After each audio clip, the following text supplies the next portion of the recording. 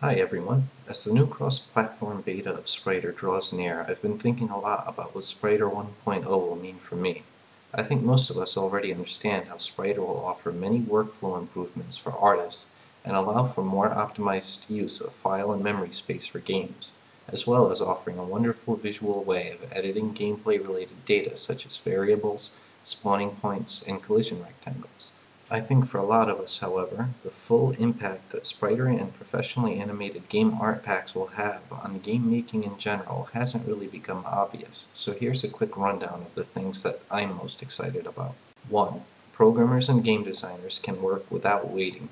No more bottlenecks in development as designers and programmers are forced to wait for required characters or effect animations before they can program the new features. With Spriter, a programmer can hit the ground running with an art pack right out of the box, quickly creating placeholder animations as needed, and then hire a professional artist to customize the art and product-specific animations at their leisure. This makes for much faster, less stressful, and far more affordable game development. 2. Affordability of original art. As I touched on a second ago, because a huge amount of the art and animation work will already be done for you out of the box. Now instead of the need to hire an artist to work for many months of full-time work to create all the animations from scratch, you'll only need a few days worth of work to customize and perfect the art and animations for your specific needs. Furthermore, those who have some artistic ability will have a much easier time simply editing pre-created body part images than trying to create all the art and animations from scratch. Spriter and professionally created art packs are going to ensure the best looking games for all game developers, whether or not they decide to hire a pro artist. 3. Flake-proof art development.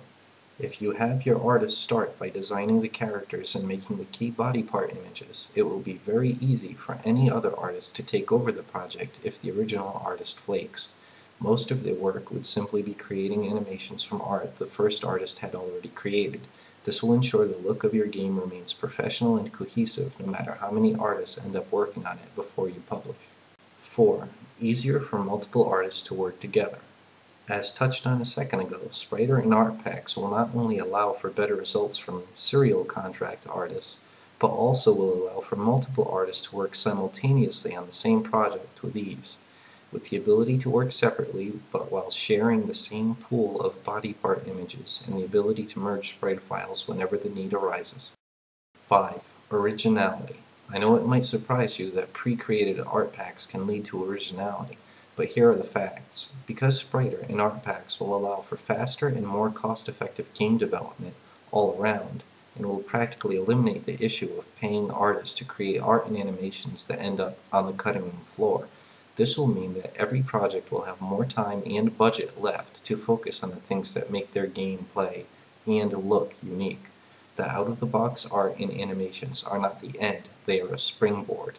It will be incredibly easy for game artists to add subtle nuances, tweak, or totally change the flavor of the pre-existing animations and art.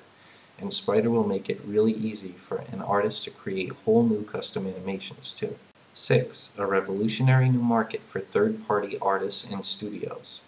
Artists will no longer need to wait for a contract to produce profitable game art, and soon many indie game makers will start to make Spriter art pack creation a part of the equation for their game production.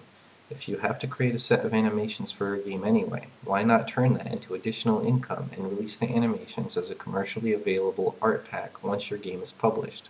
And no need to worry about other people making games that look like yours. Just a day or two of replacing the actual body part images and all of your time creating actual animations can be monetized.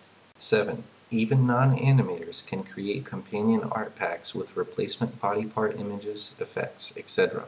Because the animation work will have already been done by professionals, even artists with no experience animating can change the body part images to create fully animated and completely original game art, either for use in a game or to release as a companion art pack. 8.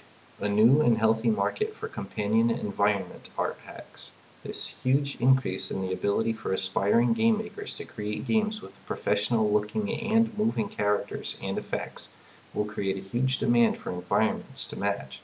The buzz is already beginning in the game artist community, and such environment art packs are already underway. 9. A whole new outlet for aspiring game artists to get into the industry and make a name for themselves. Thanks to Spriter, it will be drastically easier for talented artists to break into the industry and show their stuff to the entire game making community. I hope you find these prospects as exciting as I do. Spriter has only just begun. You're about to witness the butterfly wings that create a hurricane. Stay tuned.